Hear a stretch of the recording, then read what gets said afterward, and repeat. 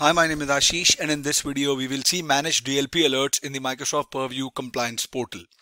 Well, as we all know, part of the DLP policy creation process involves determining if you want to notify anyone when policies are triggered. And we as an admin make those choices for each DLP policy rule we create. Now these alerts are displayed in the DLP alerts dashboard. The alerts are governed by setting we configure in the incident report section of each data loss prevention policy rule and admins can use the dashboard to both view and manage the alerts as well. So we have the flexibility in defining when alerts are sent. One option is to send an alert every time an activity matches the rule. A second option is to only send the alert when a threshold, like the number of times the policy was violated. So let me just quickly log on to the portal and take it from there. All right, I'm logged on to the portal. So if I show you an example it is from the Microsoft documentation. So it shows the portion of the DLP policy rule configuration process where we specify incident reports, send an alert to admins when a rule matches occurs, right? And then we have sent an email to send to this email address, which adds an alert to the DLP alerts dashboard.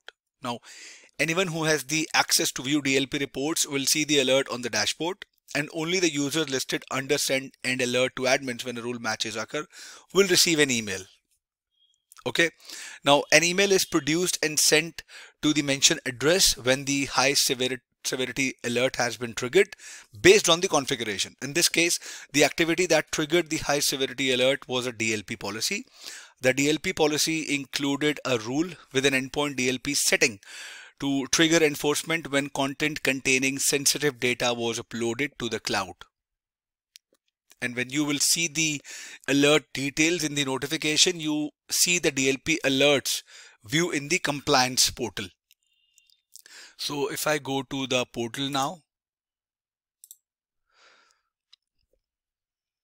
in the alert section under data loss prevention, okay, it will ask me to log in again. Let me refresh the token.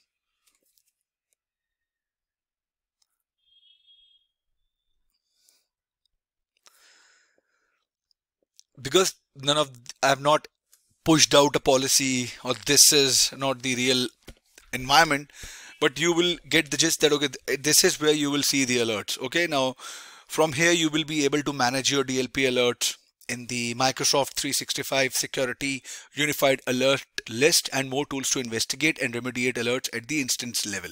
Okay so the idea was that we see that an event uh, maybe a file or a URL that included high volume of uh, the financial data that was copied to the cloud for which we created a DLP policies like I created one here, right?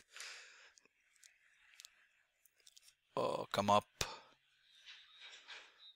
here.